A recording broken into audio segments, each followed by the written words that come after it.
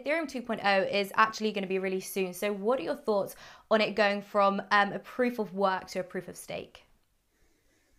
Well, I mean, I think in, terms of testing out uh, proof of stake at scale, uh, Ethereum is where it's going to happen. Uh, all of the other proof of stake uh, systems so far have have not been tested at the transaction scale, the um, uh, market capitalization level, the activity level that Ethereum brings to the table. So being able to test proof of stake at that scale is very, very uh, interesting. And um, you know, who, who knows how it's going to go. Um, I'm, I'm looking forward to seeing how um, Ethereum 2.0 handles that challenge. Um, the roadmap seems rather um, well thought out.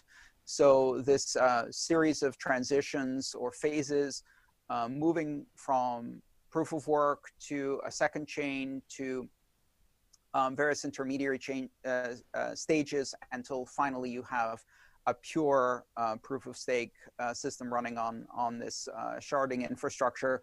I, I think that's very interesting, and it tests two things simultaneously. It tests proof of stake, but it also tests um, sharding as a scaling approach.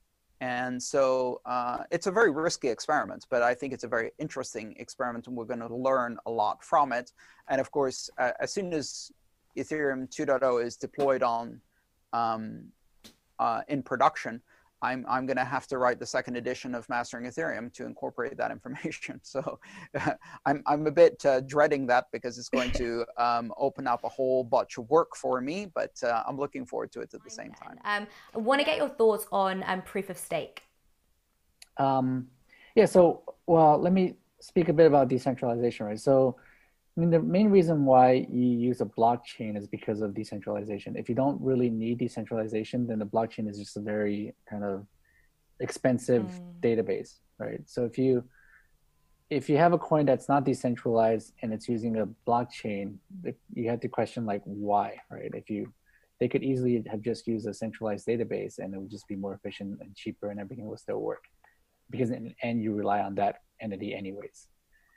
Um, so moving on to to proof of stake, I'm not fully kind of bought in on proof of stake. Uh, proof of stake has been around for for many years, right, the decades. Um, has never really worked well um, because there's always um, issues with um, like nothing at stake problem. There's issue with basically the rich getting richer. Um, and it's not as fair as proof of work. I think proof of work is still like the best form of uh, consensus algorithm for for money, for decentralized global money. Um, proof of stake could work, uh, but we just I haven't seen it work well yeah, yet. But just finally, you mentioned Ethereum, and I have to ask you, of course, about Ethereum because, um, you know, we've got Ethereum 2.0 coming out soon, so there must be something interesting about the update that excites you. Well, I I don't actually know when Ethereum 2.0 is going to hit. I don't think they've been fully honest about that rollout. Um, and also, I don't think they fully thought through the consequences of the upgrade that they're doing. Um, we did. It took us years to figure that out.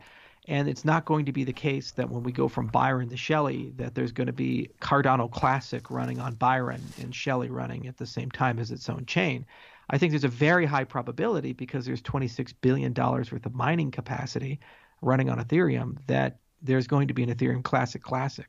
So the original ETH is going to run uh, in tandem with uh, the new Ethereum. Um, so they're they're still trying to work their mind around all that, and we wish them well. We hope that it's a successful upgrade. But let's be clear, they're firing their miners.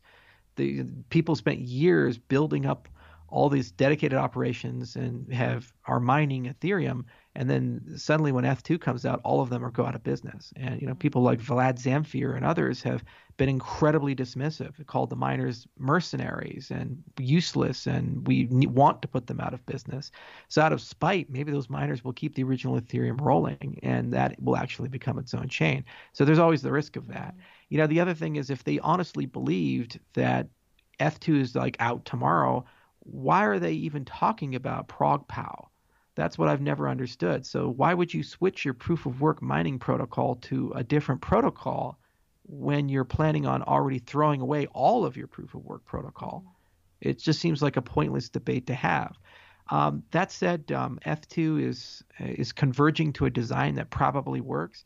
However, it's mired in complexity, and I think it's unnecessary for what they want to accomplish. I mean, sharding the ledger is a, probably the most uh, dramatic and difficult thing you can do as a project. It's very expensive. It's very time consuming. It's uh, it reduces your security from half Byzantine resistance to a quarter to a third, depending on how you do it. And uh, at the end of the day, there's just so much more complexity that you now have to think about uh, with the sharded ledger. And then you know availability is always an issue, and you have to think about that. What we chose to do is use a single shard environment and embrace an L2 solution, Hydra, that will allow us to grow to millions of transactions per second without having to shard the base ledger. Mm. So we can use much more classical distributed systems theory and just optimize that, and it should work for uh, four or five years worth of growth in our system, if not more. Um, in fact, at the moment, uh, what's coming with Shelley would be able to run pretty much all the transactions that you would normally encounter with Ethereum and Ripple and Bitcoin combined and still be able to operate on a single shard environment. So I just don't see the necessity to embrace something this dramatic. It's the classic case of chasing sexy technology for the sake of sexy technology, not realizing that you're in getting yourself a really difficult tail that's going to be hard to work through. Mm. And you know, big companies make these mistakes. Um, Intel chased uh, Rambus you know, uh, and they they threw in the towel eventually and went to uh, DDR RAM. Um, then you know, uh, Nissan went with the CVT transmission, and that was an elegant, beautiful piece of technology. But it took generations and generations to get to a point where it was reliable. Uh, so I think they're going to have much more problems with this transition than uh, than they're letting on. Mm. And it's not clear if the benefits are going to be significant. On the other hand, it's going to be the first example of a purely sharded thing uh, that we all get to learn from and see. Yeah. So there's a lot of great academic uh, knowledge that will be gained from this uh, this movement of this model. Um, their accounting model is also going to work against them, by the way. The glo- whole global state thing that the EVM has is not amenable to sharding. Whereas extended UTXO, the accounting model that we use for Cardano, that we spent years designing, is. Mm. It's much easier to shard that. So, you know, these are examples of where sometimes your design hinders your ability to innovate and you have to go back to the drawing board. And it's why we chose to use first principles because we kind of knew where we were going from the very beginning. Um, but, you know, all, all cases, EOS, Tezos, Ethereum, all these things, their upgrades are as beneficial to us as they are to them. Uh, and we have the privilege of being able to learn from it, not have to pay for it. So uh, we're we're actually pretty excited that they're choosing a different model than we're choosing, mm. uh, and it'll kind of it'll kind of be the market's decision whether they want to embrace uh, something built on granite with peer review and safety and stability, or you know, kind of an experiment that has a poor track record of having things explode in the user's face, like the DAO hack or the parity hack or other things, and the core entities never pay for that. It's the users who end up paying for that. They're, they're the ones who lose hundreds of millions of dollars every time these things Finally, occur. Then I want to get your thoughts on Ethereum 2.0. I think Ethereum 2.0. Um, uh, I think uh, so. Uh, again, I think uh, I got to explain this very carefully. Um, even with Ethereum 1.0, I was skeptical. Um, so I was chatting with Vitalik. He he was crashing over at my place, and I, I knew him from the end of 2013. As soon as we entered the industry, and uh, he was still working for Bitcoin Magazine back then. I think I just started Ethereum, and um, uh, so 2014 he launched his ICO um, and the first ICO um, uh, uh, in history, I think. And uh, uh, I, we were ta- I was talking with him, and then in May 2015 he came cra- came over to Tokyo, crashed over at, at, my place, and I remember I was telling him that.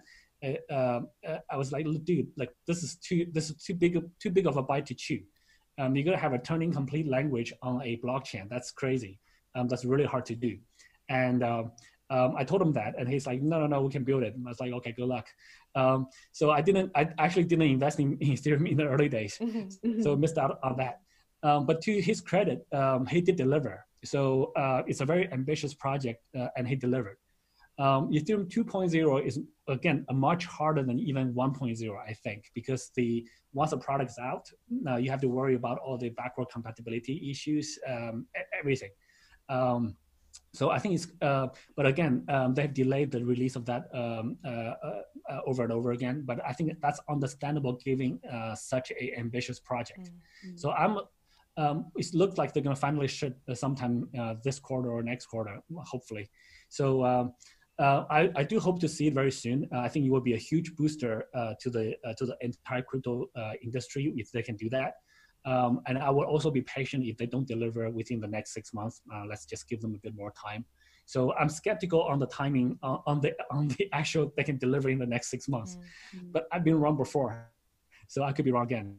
I do really hope to see it deliver very soon. I think it will be I think it will be fantastic for the overall industry. And,